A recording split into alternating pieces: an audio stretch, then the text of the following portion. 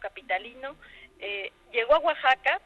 pues para quitar de él cualquier objeto que pueda implicar la falta de circulación o bien que impida estacionarse a los ciudadanos y ciudadanas en la capital oaxaqueña. Sin embargo, bueno, su llegada no fue con bombo y con platillo, ha desatado como él mucha polémica y ya por lo pronto lleva dos enfrentamientos, uno de ellos ya con eh, donde salieron a relucir palos y hasta un bat. Eh, obviamente los dueños de los establecimientos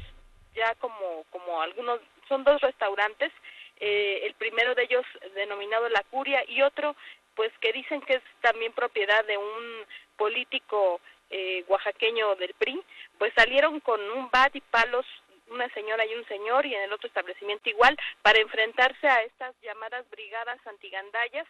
y pues los corrieron a golpes, aunque lograron quitarles tanto el bat como el palo, finalmente se tuvieron que retirar estos jóvenes que acompañan a Arne porque los eh, dueños de estos establecimientos pues argumentan que no tienen ningún derecho de quitarles los los lugares o estos estas mamparas que utilizan para promocionar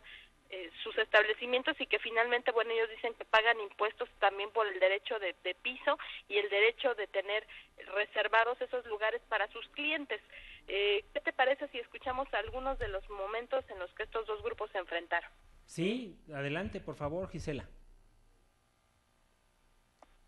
Estamos viendo en imágenes, también ustedes están viendo, amigos, cómo se han dado los enfrentamientos. Eh, la gente no está de acuerdo con estas eh, acciones que toma Arne y por supuesto que se defienden con todo lo que pueden, ¿no? comentarte, Eduardo, que eh, pues va a continuar la polémica porque ellos aseguran que pase lo que pase van a seguir quitando estos. Eh, claro, en algunas ocasiones ya se han acercado acompañados de la policía pues sí, y diciéndole al, al elemento policiaco que de acuerdo al reglamento no pueden impedir el estacionamiento libre, pero también los dueños de los negocios, bueno, pues no es lo mismo la ciudad capital que la capital oaxaqueña. Aquí tenemos antecedentes de que la gente sale hasta con machetes, Eduardo. Entonces, bueno, pues habrá que medir qué seguirá pasando. Estaremos muy atentos de lo que ocurra. Y para comentarte también que ya el magisterio oaxaqueño, después de que no aceptó las tres mil plazas que le ofreció el gobierno del estado, rechazó cualquier ofrecimiento hasta que la reforma educativa no sea derogada y con esa con ese razonamiento salieron a bloquear nuevamente la carretera federal Oaxaca-México a la altura de Nochixtlán eh, desde las 8 de la mañana y hace apenas una hora decidieron ya liberar la vía, ya está libre, sin embargo coinciden en que van a seguir con sus acciones y finalmente, bueno, comentarte también a ti y al auditorio que en Oaxaca comenzaron ya los despidos en correos eh, de México, la delegación que está aquí, se habla de 200 personas, entre ellos los que reparten todas estas cartas todas estas notificaciones y el correo en general, eh, no han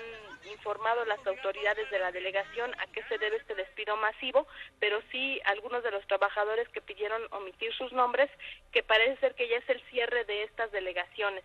Eh, sí, el, problema grave, Gisela, es eh, la falta de presupuesto, ¿no? Y que van a hacer eh, supuestamente un recorte de más del 30% de plazas allá en el estado de Oaxaca. Fíjate que aquí los analistas en la Ciudad de México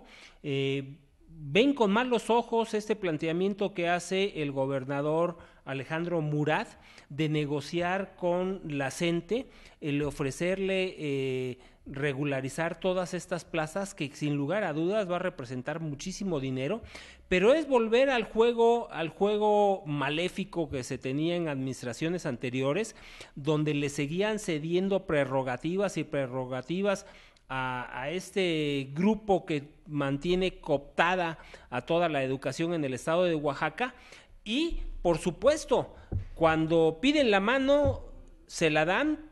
y toman el pie y si se descuida uno, agarran todo lo demás, ¿no?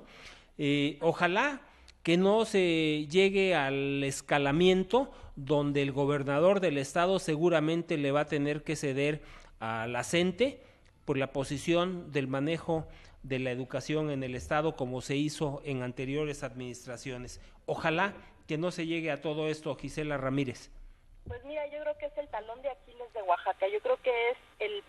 grave problema de cada administración y efectivamente si al, al, iniciar lo primero que hace es ofrecer una mesa de diálogo, ofrecerle tres mil plazas, que no es cualquier cosa, Lalo, tú lo sabes, imagínate que a la, a la primera de cambio les dicen que no,